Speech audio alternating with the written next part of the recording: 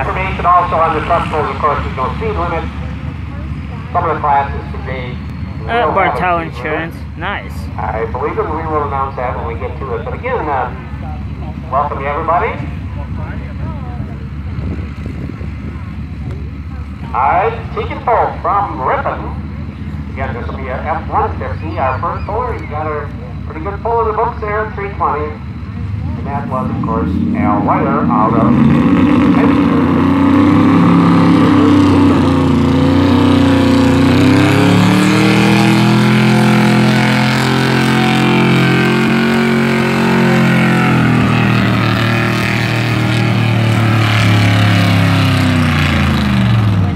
Fuck no.